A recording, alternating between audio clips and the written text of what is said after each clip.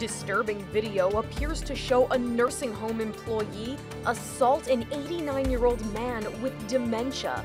The family of that patient, Georges Karam, say they installed a video camera in his room with the hospital's permission because staff members couldn't explain injuries and bruises that he was sustaining. They say he's nonverbal and confined to a wheelchair. Weeks after installing the camera, the family was shocked to see what it captured.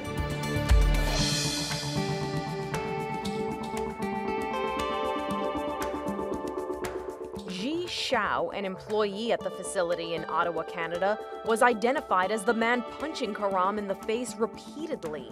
He was fired from his job and he pled guilty to one count of assault. He's awaiting sentencing.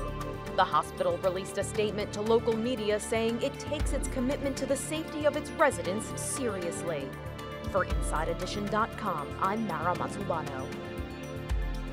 Unverbal and confined to a wheelchair. Weeks after installing the camera, the family was shocked to see what it captured.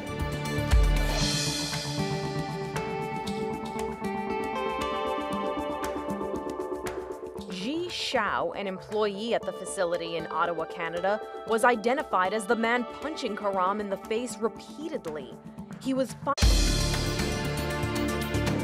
Disturbing video appears to show a nursing home employee assault an 89 year old man with dementia.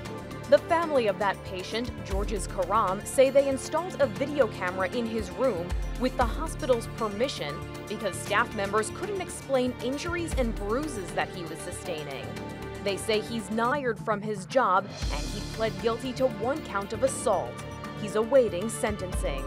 The hospital released a statement to local media saying it takes its